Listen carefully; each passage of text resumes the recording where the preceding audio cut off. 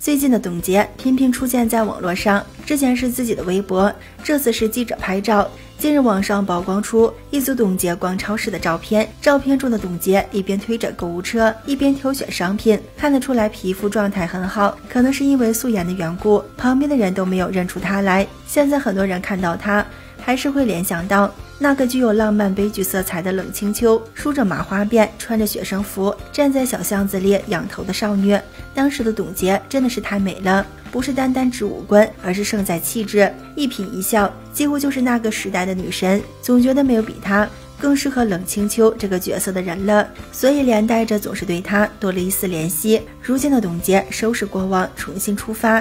五年之后的她。